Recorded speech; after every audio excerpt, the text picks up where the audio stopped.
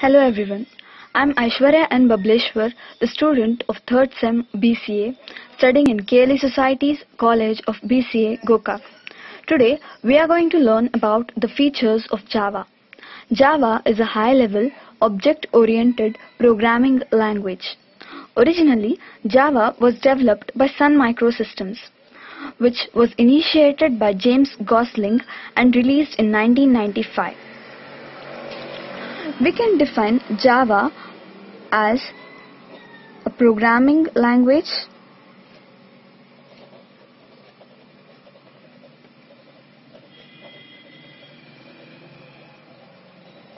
as we can write the codes and run applications in it and we can also define it as platform. The most important property that is JRE that is Java runtime environment. Here are the features of Java. Compiled and interpreted, platform independent and portable, object oriented, robust and secure, distributed, familiar, simple and small, multi-threaded and interactive, high performance, dynamic and extensible. Now let's see the features of Java one by one in detail. The first one that is compiled and interpreted. Java uses both the compiler and the interpreter. Usually a compiler converts this, the code into, into the machine code. Here the Java compiler converts the Java source code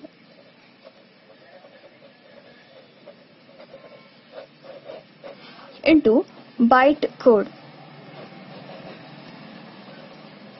which is also called as intermediate code. And then there is an interpreter that converts the byte code into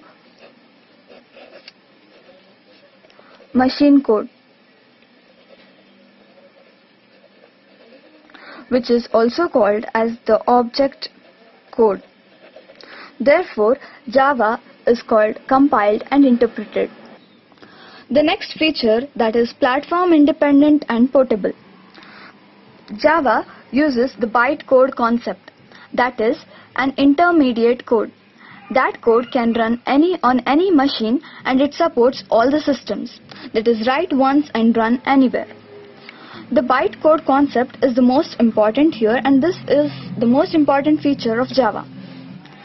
It, the Java has its own plat platform and there are two parts that is JRE and API. JRE is Java Runtime Environment and API is Application Programmable Interface. So here the Java source code is converted into bytecode using a compiler. It is portable. Like if suppose you write a program, a Java program on Windows or operating system and you compile it and you get the bytecode. Now this bytecode you can run this program on any other operating system. Uh, for example, if you if you run this bytecode on Mac operating system, it, it is possible because of the installed JVM that is Java Virtual Machine. Therefore, the, therefore, the program that is written on any other operating system can be run on other operating system. You can write once and run anywhere. Therefore, Java is platform independent and portable. The next one is object oriented. All the entities or elements that in Java are considered as object.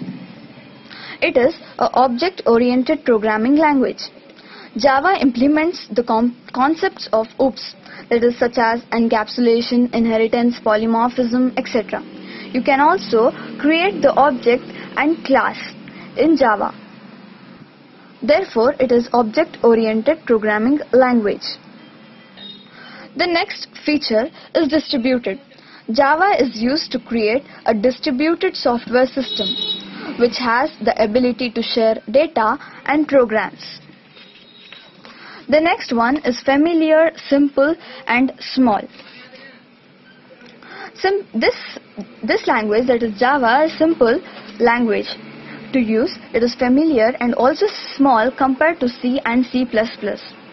The syntax are based on C++ and it also doesn't have the concept of pointers.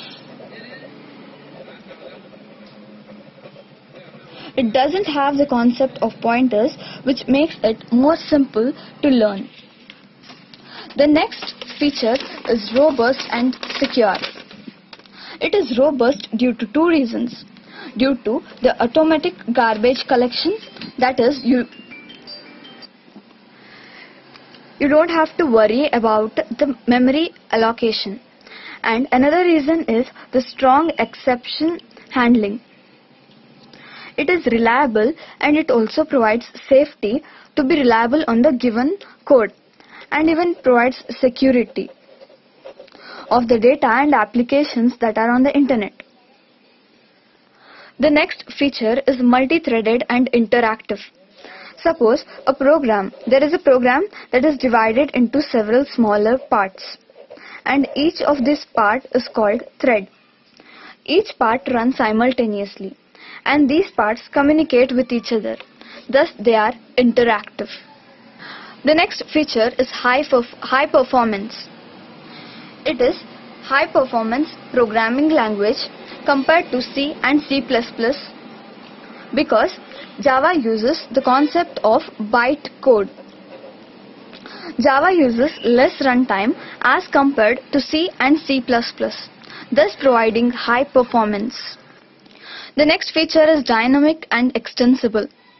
It is dynamic language and has the ability to link any new library to the Java program if it is required during the runtime. We can also extend the Java program by adding the new features. So these are the features of Java. Thank you.